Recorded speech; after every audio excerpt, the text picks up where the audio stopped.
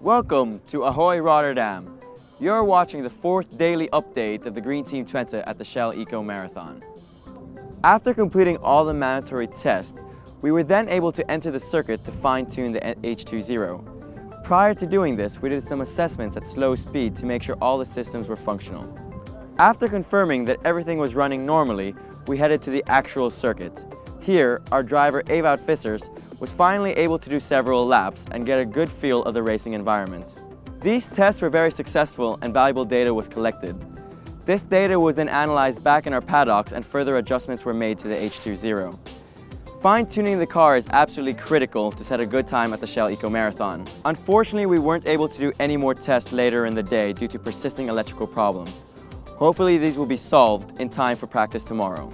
Please follow us on Facebook, Twitter and the live blog on the University of Twente's website. If you would like to visit us, sign up for free tickets on the Eco Marathon website. Thank you for watching and check back tomorrow for the next daily update.